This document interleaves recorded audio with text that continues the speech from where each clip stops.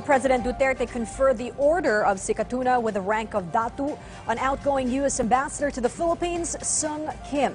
Ambassador Kim was in Malacanang yesterday for his farewell call on the president. During this call, the president expressed appreciation for Ambassador Kim's vital contributions in strengthening the alliance and partnership between the Philippines and the United States. The chief executive recognized the important contributions of Ambassador Kim in further boosting Philippine-U.S. relations. Ambassador Kim thanked the president for a productive bilateral engagement with the Philippines. He also emphasized that the U.S. remains committed to the alliance and partnership with the Philippines.